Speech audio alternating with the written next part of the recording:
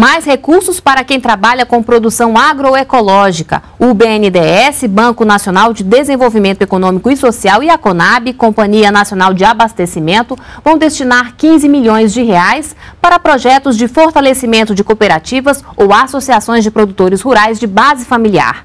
Sobre o assunto, vamos conversar com Tiago Horta, coordenador da equipe técnica da Conab. Olá, Tiago, muito obrigada pela sua presença aqui no NBR Entrevista. Obrigado, eu que agradeço a oportunidade de poder trazer algumas informações. Bom, então vamos começar né, explicando qual é o público-alvo desse edital de chamada pública. Olha, no o edit, segundo edital de chamada pública é, da, do acordo de cooperação entre a Conab e o BNDES, prioriza o público é, da agricultura familiar. E dentro desse, do público que, é que são os agricultores familiares, são priorizados alguns, alguns, algumas classes específicas. Seriam eles mulheres, é, povos e comunidades tradicionais, povos indígenas, quilombolas, jovens e população inscrita no CAD único do, do Ministério do Desenvolvimento Social e Combate à Fome.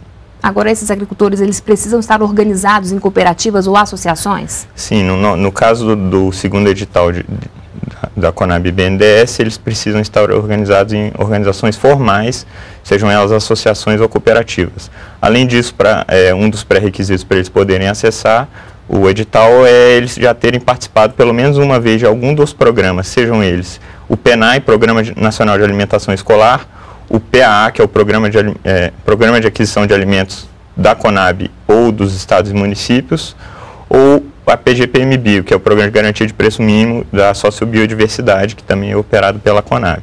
Agora, Tiago, por que a atenção especial aí para agroecologia? A gente sente que o, o sistema de produção agroecológico orgânico, ele traz muitos benefícios para a sociedade, principalmente na questão da saúde, né? É, os alimentos são muito mais saudáveis, né? E geram bastante renda no campo, porque esses alimentos normalmente são produzidos pelos pequenos produtores do Brasil.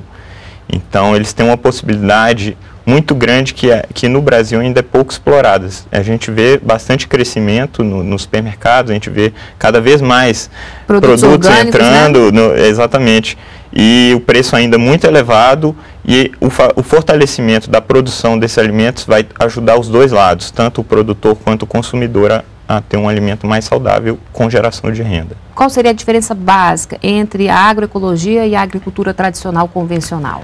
É, é principalmente focado na questão do uso do, dos insumos químicos, sejam eles os fertilizantes químicos ou os agrotóxicos.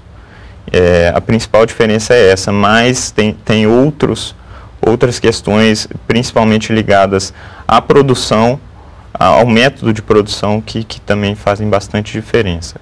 No caso da agroecologia, a própria natureza né, que se encarrega aí de combater as pragas, né? Exatamente. A, a natureza é utilizada em favor para produzir um alimento mais saudável com, com, com menos recursos naturais.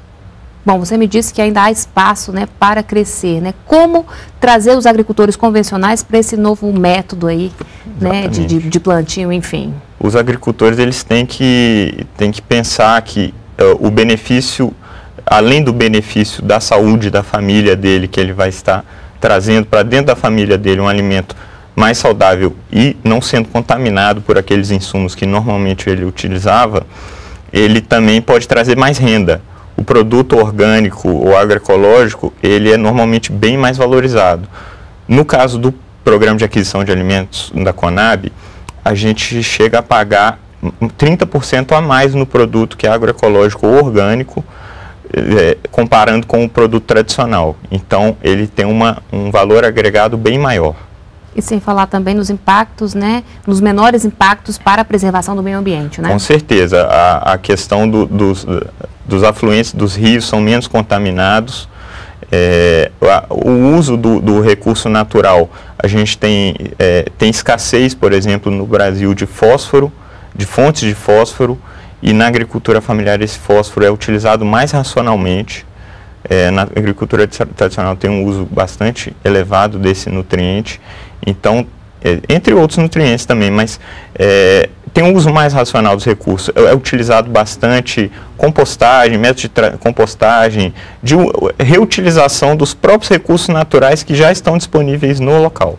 Agora, é uma mudança realmente de cultura, né, por parte do agricultor, né, porque é totalmente diferente do método convencional, né? É, é, é diferente, é bem diferente, mas é totalmente possível, principalmente dentro do nosso público de agricultura familiar.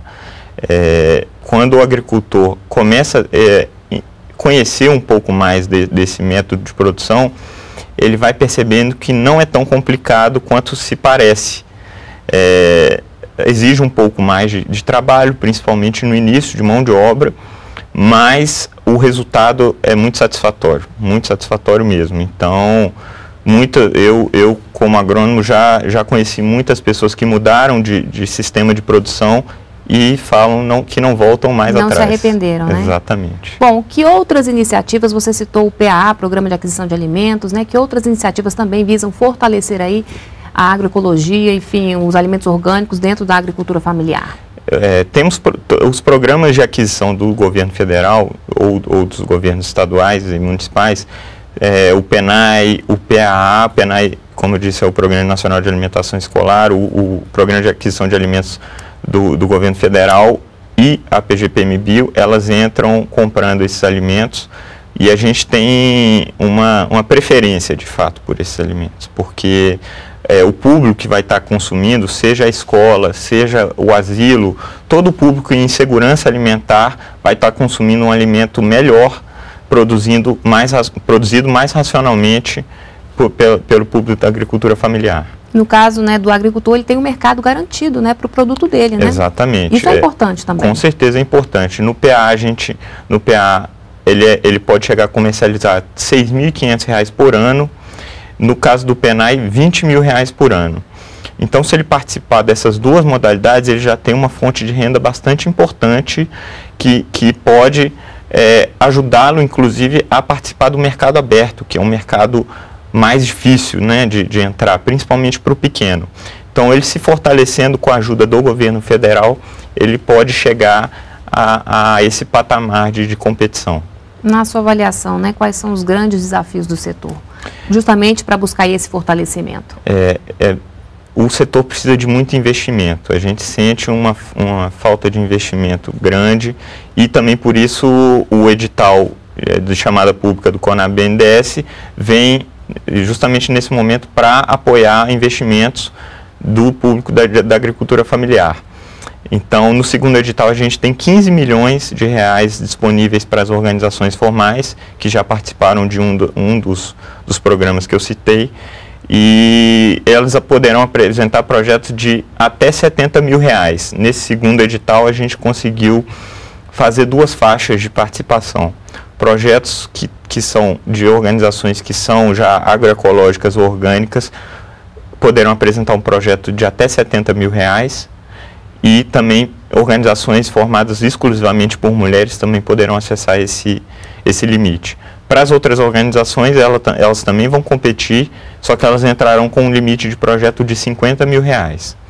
Para eles acessarem os dois limites, eles têm que ter no mínimo 25 beneficiários do projeto. Agora, como é, como é que vai ser a seleção é, desses projetos? Eu queria que você desse um exemplo, para a gente poder entender melhor. É, basicamente, as organizações do Brasil inteiro vão apresentar os projetos para a Conab. O programa para apresentar o projeto já está disponível no site da Conab, para fazer o download e preenchimento do projeto. É, eles vão encaminhar isso para a Conab e dentro da Conab junto com, com o BNDES, vai ser feita uma seleção baseado no público. Então, organizações que são prioridade vão, vão ter uma pontuação maior, que são aquelas que eu citei de jovens, mulheres, é, mulheres quilombolas, quilombolas é, comunidades tradicionais, povos indígenas e CAD único, né? É, eles vão ter uma prioridade e também projetos que fortaleçam a agroecologia ou o sistema orgânico de produção. Por exemplo, mulheres lá da Amazônia estão unidas numa cooperativa, querem é, vender polpa de cupuaçu, por exemplo. Exatamente. São esse, candidatas aí a, a esse edital. São, são, são candidatas sem dúvidas, sem dúvida. É, um, um, exemplo bem legal é a questão da, da, justamente do processamento dos alimentos. A gente recebeu no primeiro edital bastante vários projetos para esse, esse fim, né? Então, se o alimento, além de tudo, for orgânico e é, é, ou está favorecendo práticas orgânicas, seja de, de reutilização de insumos, de é, é, tem alguns vários critérios no, no, nosso edital que ele vai ser beneficiado caso o projeto atinja, é, segundo a comissão julgadora, esses pontos. Então eles vão ser beneficiados. Isso vai gerar um ranking, né? Porque no primeiro edital a gente teve 1.600 inscritos, 1.660 inscritos e foram contemplados 102 organizações. Então a demanda realmente foi muito maior do que a gente previa. É, nesse segundo edital a gente triplicou os recursos, então a gente tem uma expectativa muito boa de atender mais organizações ainda para favorecer o, a atuação delas no mercado governamental de alimentos e no mercado aberto também. E esse recu esses recursos, eles vão poder ser utilizados de que forma? Por exemplo, para montar uma fábrica, para comprar um automóvel, para facilitar aí o escoamento da produção, enfim. Como é esse, que vai poder ser utilizado esse dinheiro? Esse recurso que vem a fundo perdido para as organizações, ou seja, elas não vão precisar devolver desde que apliquem adequadamente o recurso, podem ser usados em vários tipos de investimento. Sejam eles é, equipa equipamentos para justamente processar os alimentos, automóveis utilitários para poder transportar esse alimento, que é um dos grandes gargalos que a gente sente também, obras civis, é, embalagens, é, serviços técnicos especializados, temos um rol bem grande de, de, é, de possibilidades de apoio. Então, é bem importante que o pessoal entregue os projetos, de fato, para poderem ser analisados até o dia 31 de março, que é quando finda o, o prazo de inscrição, para de fato a gente poder ter uma análise bem adequada de quais projetos são mais interessantes para a sociedade e para as organizações. Tem alguma é, região do país que vai é, é receber mais recursos? Enfim, como é que está essa divisão desses 15 milhões de é, reais? É, os 15 milhões eles são divididos em 60% dos recursos vão para a região norte, nordeste e centro-oeste, necessariamente, e 40% vão para a região sul e sudeste. Isso se deve ao fato da gente realmente verificar que essas regiões precisam de fato de uma maior atenção do governo federal e, e elas são realmente muito carentes desse apoio.